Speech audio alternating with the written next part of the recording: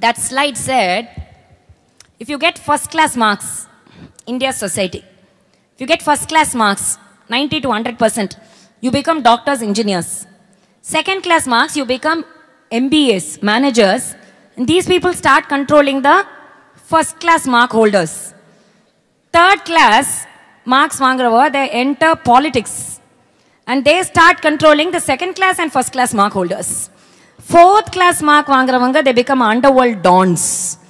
And they start controlling third class, second class, first class marks.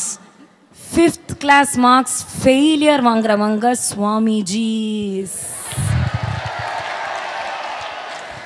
And they will only control the entire one, two, three, four groups.